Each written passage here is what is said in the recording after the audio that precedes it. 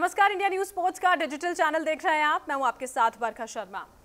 एक महत्वपूर्ण बैठक के बारे में बातचीत करने के लिए आपके सामने मैं पेश हुई हूँ बीसीसीआई और क्रिकेट ऑस्ट्रेलिया के बीच ये अहम बैठक होने जा रही है जिसमें टी ट्वेंटी वर्ल्ड कप की मेजबानी को लेकर बातचीत होगी, चर्चा होगी और उम्मीद यह जताई जा रही है कि फैसला भी जल्द इस पर हो सकता है।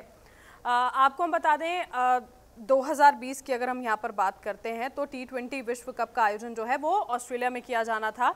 लेकिन कोरोना के चलते वो टल गया है।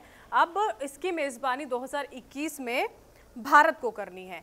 तो ये जो चर्चा दरअसल होनी है, वो इस मेज़बानी को स्वॉप करने को लेकर होनी है। मतलब ये कि जो मेज़बानी 2021 में भारत को करनी है, वो ऑस्ट्रेलिया करे और 2022 में जो मेज़बानी ऑस्ट्रेलिया को करनी थी, वो भारत कर ले। सीधी सीधी बात सिर्फ़ इतनी है। यहाँ पर। आपको हम बता दें वर्चुअल मंच पर ये जो बैठक है वो होगी, उस पर चर्चा यहाँ पर की जाएगी। इस साल से जिस तरह मैंने आपको बताया 18 अक्टूबर से वो शुरू होना था, लेकिन कोरोना के चलते टाल दिया गया और उसके बाद ही यहाँ पर आईपीएल जो है उसको विंडो मिल पाई। अब आईपीएल जो है, वो यहाँ पर हो पाएगा। इसी बीच जो आईसीसी के अधिकारी हैं, उनकी ओर से ये कहा जा रहा है कि ऑस्ट्रेलिया पूरी तैयारियाँ कर चुका था, तैयारियाँ कर भी रहा है, क्योंकि बाकायदा टिकट्स वगैरह यहाँ पर जो थी वो भी ऑस्ट्रेलिया की ओर से बेची जा चुकी थी।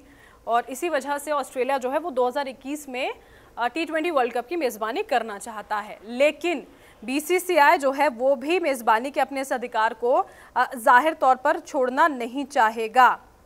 क्योंकि अब 2021 का वक्त मेज़बानी का यहाँ पर भारत को दिया गया है। भारत के लिए देखिए, मुश्किल यहाँ पर क्यों खड़ी हो सकती है? दोनों ही देशों की हम बात कर रहे हैं। जैसे हमने आपको बताया कि ऑस्ट्रेलिया में 2020 में होना था, इसी वजह से तमाम तैयारियाँ भी की गई थी, टिकट्स तक बेचे जो हैं वो जा चुके हैं। और इसी वजह से ऑस्ट्रेलिया चाहता है कि 2021 की मेज़बानी वो कर ले। लेकिन भारत के साथ जो समस्या है, जो एक आईसीसी बोर्ड के सदस्य की ओर से बताई गई है, वो यही है कि अगर 2022 में Bharat T twenty world cup की मेज़बानी करता है तो फिर महज एक साल के अंदर जो 50 ओवर्स का यहाँ पर वर्ल्ड कप होगा, उसकी मेज़बानी भी उसको अगले साल करनी है। और ये कहीं ना कहीं चुनौतीपूर्ण हो जाएगा भारत के लिए, थोड़ी मुश्किल यहाँ पर होती है। और इसी वजह से असमंजस की स्थिति अभी फ़िलहाल बनी हुई है।